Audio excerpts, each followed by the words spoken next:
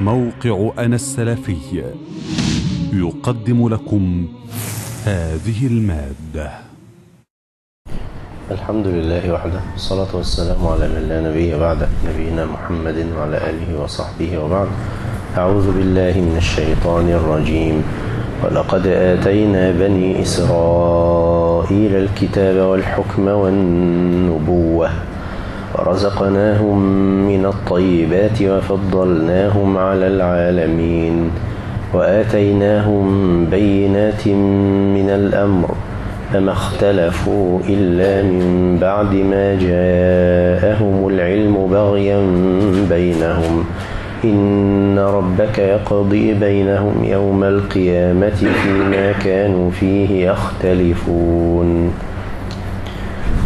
قال الشيخ السعدي رحمه الله أي ولقد أنعمنا على بني إسرائيل نعما لم تحصل لغيرهم من الناس وآتيناهم الكتاب أي التوراة والإنجيل والحكم بين الناس والنبوة التي امتازوا بها وصارت النبوة في ذرية إبراهيم عليه السلام أكثرهم من بني إسرائيل. ورزقناهم من الطيبات أي من المآكل والمشارب والملابس وإنزال المن والسلوى عليهم. وفضلناهم على العالمين أي على الخلق بهذه النعم. قال ويخرج من هذا العموم اللفظي هذه الأمة فإنهم خير أمة أخرجت للناس. والسياق يدل على أن المراد غير هذه الأمة. فإن الله يقص علينا ما امتن به على بني إسرائيل وميزهم على غيرهم. بل يقال وفضلناهم على العالمين أي عالمي زمانهم. أما بعدهم فأمة الإسلام أفضل الأمم على الإطلاق. يقول أيضا فإن الفضائل التي فاق بها بنو إسرائيل من الكتاب والحكم والنبوة وغيرها من النعوت قد حصلت كلها لهذه الأمة وزادت عليهم هذه الأمة فضائل كثيرة فهذه الشريعة شريعة بني إسرائيل جزء منها فإن هذا الكتاب مهيمن على سائر الكتب السابقة ومحمد صلى الله عليه وسلم مصدق لجميع المرسلين. وآتيناهم أي آتينا بني إسرائيل بينات أي دلالات تبين الحق من الباطل بينات من الأمر أي القدري الذي أوصله الله إليهم. وتلك الآيات هي المعجزات التي رأوها على يد موسى عليه السلام.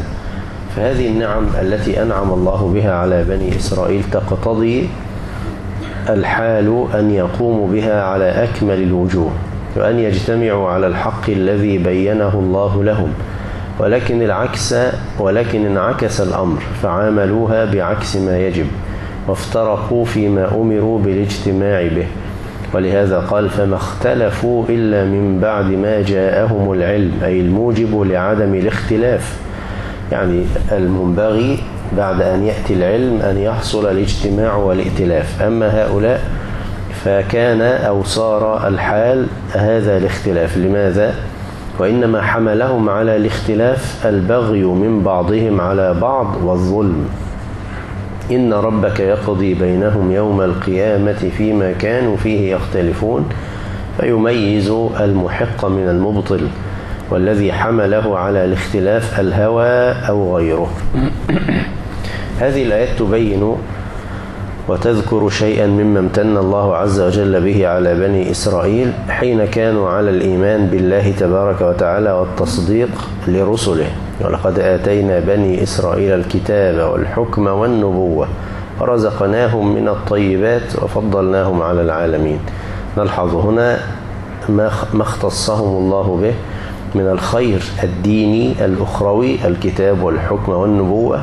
وكذلك الخير الدنيوي ورزقناهم من الطيبات وحصل لهم ما لم يحصل لغيرهم. فكان ينبغي عليهم أن يشكروا نعمة الله عز وجل وذلك بالقيام بأمر الله ونصرة أنبياء الله وليس أن يكذبوا الأنبياء وأن, يقتل وأن يقتلوا بعضهم. وآتيناهم بينات من الأمر فما اختلفوا إلا من بعد ما جاءهم العلم بغيا بينهم. وهذا يدل على أن الاختلاف منه المذموم وليس كل اختلاف يمدح. فإذا ما جاءت البينات وهي تشمل الآيات ويعني نص من آية من كتاب الله أو حديث من أحاديث النبي صلى الله عليه وسلم أو الإجماع أو القياس الجلي. فلا يجوز الاختلاف بعد مجيء البينات. وأما ما كان من اختلاف مع أو في فهم هذه البينات فهذا وسع أسلافنا وسع الصحابة أصحاب النبي صلى الله عليه وسلم حتى في بعض الأمور العقدية. فاختلفوا مثلا هل رأى محمد صلى الله عليه وسلم ربه ليلة المعراج أم لم يره؟ فنجد جاء عن ابن عباس رضي الله عنهما أنه قال رأى رآه بقلبه. وعن عائشة رضي الله عنها أنها قالت من زعم أن محمدا رأى ربه فقد افترى فقد أعظم على الله الفرية. فيجمع بين هذا ولا خلاف في الحقيقة أنه رآه بقلبه رأى نورا وقال نور أنا أراه. إذا فما لم تكن فيه بينات ساغ فيه الاختلاف. وأما الاختلاف بعد مجيء البينات فهذا أمر مذموم يذم صاحبه.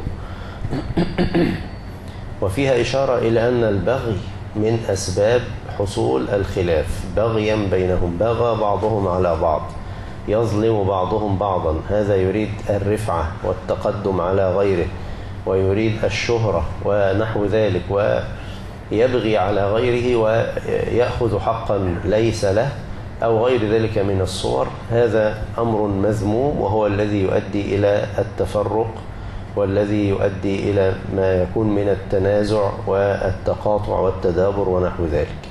وقوله إن ربك يقضي بينهم يوم القيامة فيما كانوا فيه يختلفون إشارة وترهيب من الاختلاف المذموم غير السائر وأن الله عز وجل سيحاسب كلا بعمله.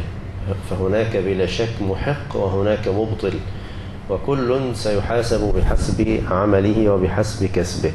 إذا نقول هناك خلاف يسوغ الأمر فيه وهناك خلاف لا يسوغ الأمر فيه. الخلاف الذي يسوغ الأمر فيه ما كان ليس فيه شيء من البينات.